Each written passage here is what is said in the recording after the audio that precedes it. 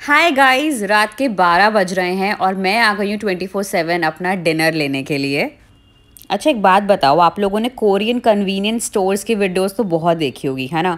And seven eleven भी होता है अब्रॉड में, जैसे यहाँ पे I think twenty four seven है।